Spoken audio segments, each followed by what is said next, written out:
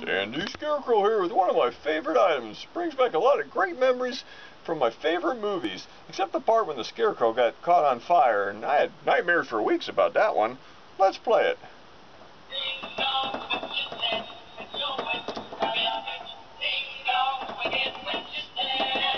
a flying broom.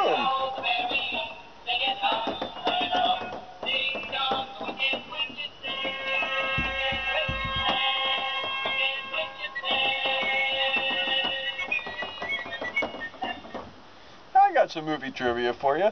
Remember the witch's goon at the end of the movie? You go, here, I, I can do an impression of him. She's dead. You killed her. And then when Dorothy asked for the broom, he said, Please, and take it with you. Pretty good, huh? Goodbye.